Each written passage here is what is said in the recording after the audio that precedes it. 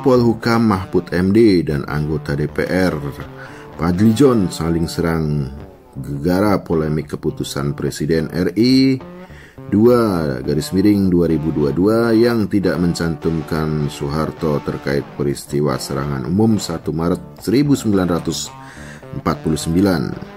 Keduanya saling berbalas argumen. Dilansir dari situs Sekretariat Negara, keputusan Presiden Republik Indonesia Kepres nomor 2 tahun 2022 tentang Hari Penegakan Kedaulatan Negara resmi diterbitkan oleh Presiden Joko Widodo Jokowi. Kepres tersebut mengatur terkait Hari Penegakan Kedaulatan Negara. Pada det pada diktum ke-1 dan kedua, kepres tersebut dinyatakan Hari Penegakan Kedaulatan Negara jatuh pada 1 Maret dan bukan merupakan hari libur. Dalam kepres tersebut juga dijelaskan alasan 1 Maret sebagai Hari Penegakan Kedaulatan Negara. Pada poin C, pertimbangan kepres terdapat pembahasan terkait dengan sejarah serangan umum 1 Maret 1949 pada poin itu memang tidak tercantum nama Soeharto. Bahwa peristiwa serangan umum 1 Maret 1949 yang digagas oleh Sri Sultan Hamengkubuwono ke-9 dan diperintahkan oleh Panglima Besar Jenderal Sudirman serta disetujui oleh disetujui dan digerakkan oleh Presiden Soekarno dan Wakil Presiden Muhammad Hatta dan didukung oleh Tentara Nasional Indonesia, Kepolisian Republik Kepolisian Negara Republik Indonesia, Laskar-Laskar Perjuangan Rakyat, dan segenap komponen bangsa Indonesia lainnya merupakan bagian penting dalam sejarah perjuangan bangsa Indonesia yang mampu menegakkan kembali eksistensi dan kedaulatan negara Indonesia di dunia internasional serta telah berhasil menyatukan kembali kesadaran dan semangat persatuan dan kesatuan bangsa Indonesia. Bunyi poin C pertimbangan Kepres Hari Penegakan Kedaulatan Negara. Tanggapan Mahfud MD, hal tersebut pun lantas ramai dibahas oleh publik. Menko Polhukam Mahfud MD pun buka suara terkait persoalan tersebut. Dia menyampaikan kepres tersebut tidak menghilangkan nama Soeharto dari sejarah serangan umum 1 Maret 1949.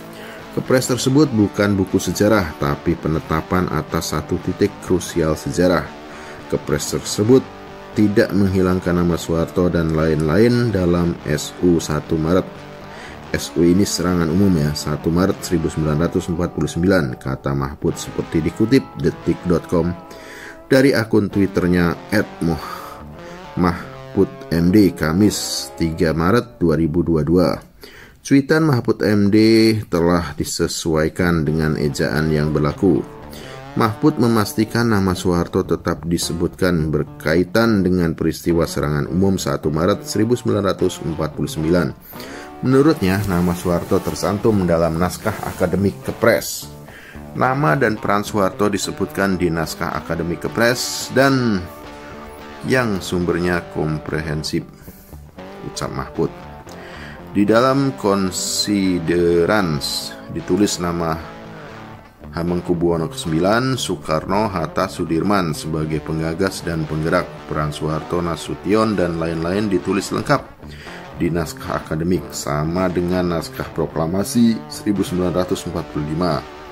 Hanya menyebut Soekarno-Hatta dari puluhan founding fathers, founding parents lainnya tambahnya. Sementara itu, Padli meminta Mahfud tak mem Padli minta Mahfud tak belokkan sejarah. Sementara itu, Padli meminta Mahfud MD tak membelokkan peristiwa sejarah serangan umum 1 Maret 1949.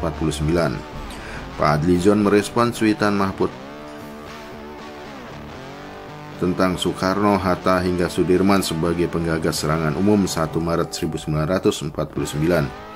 Keliru Pak, et Mah Mahfud MD dalam serangan umum 1 Maret 1949, Soekarno dan Hatta masih dalam tawanan di Menumbing, kata Padlijon.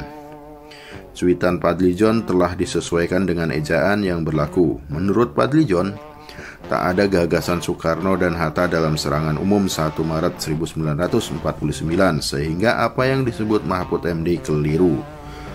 Pemerintahan dipimpin PDRI, Pemerintah Darurat RI di bawah Saprudin Prawira Negara. Tak ada gagasan dari Soekarno dan Hatta dalam peristiwa ini. Jangan belokkan sejarah, tulis Padli John. Respon Mahfud MD Mahfud MD merespon Suitan Padlijon yang meminta agar sejarah serangan umum 1 Maret 1949 tidak dibelokkan. Mahfud mengatakan penentu kebenaran sejarah bukanlah Padlijon. Penentu kebenaran sejarah itu bukan Padlijon, tapi ilmiahnya adalah sejarawan dan forum akademik, kata Mahfud saat dihubungi Jumat 4 Maret 2022. Mahfud menuturkan, meski demikian suara Padlijon itu tetap harus didengar. Meski begitu, suara Padlijon tetap harus didengar oleh rakyat agar sama-sama. Tuturnya, Mahfud menegaskan pemerintah tidak pernah meniadakan peran Soeharto dalam sejarah serangan tersebut.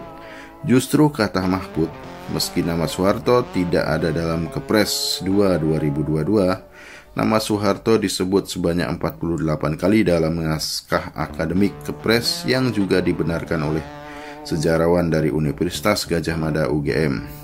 Kita tak pernah meniadakan peran Soeharto, malah di naskah akademik Kepres itu nama Soeharto disebut 48 kali karena kita mencatat dengan baik peran Pak Harto. Itu ada penjelasan dari sejarawan UGM yang membenarkan Kepres 2 2022 yang tak memasukkan nama Soeharto di dalam Kepres, ujarnya. Mahfud menyampaikan meski dalam tahanan, Soekarno-Hatta masih terus aktif menggerakkan operasi serangan. Mahfud menyebut dalam Kepres yang memerintahkan operasi adalah Jenderal Sudirman. Sementara yang memberi gagasan adalah Sri Sultan Hamengkubuwono ke-9. Kalau di Kepres itu disebut yang punya gagasan Sultan yang memerintahkan operasi Jenderal Sudirman yang menyetujui dan menggerakkan operasinya Presiden dan Wakil Presiden, ucapnya. Jadi meski dalam tahanan, Presiden dan Wakil Presiden masih terus aktif menggerakkan. Ada penjelasan Emrum dan Pringgodido yang diasingkan satu paket dengan Bung Karno dan Bung Hatta bahwa mereka terus berkomunikasi dengan dunia internasional untuk mempertahankan kedaulatan meski dari pengasingan lanjutnya.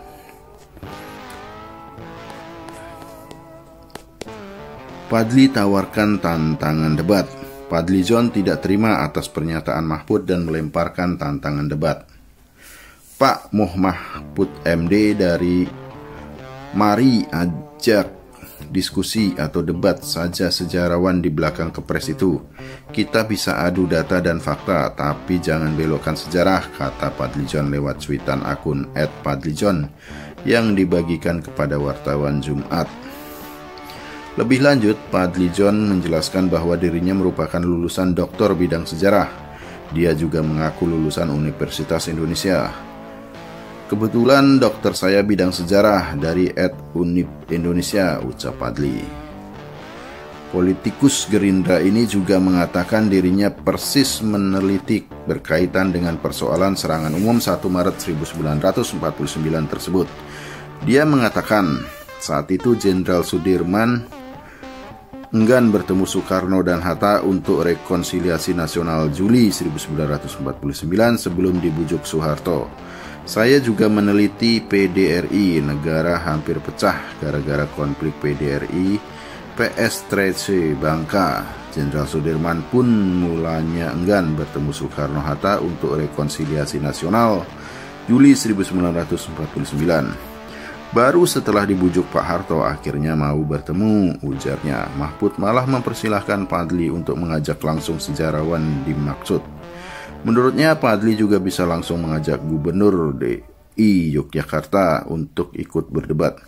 Sikah silahkan langsung ajak sendiri kalau mau debat Pak. Pak Ed Padlizon kan bisa hubungi dia. Bahkan bisa juga langsung ajak debat ke Gubernur DIY. Tulis Mahfud via akun Twitter pribadinya Ed Mahfud MD. Mahfud mengungkapkan bahwa sejumlah pihak telah berdiskusi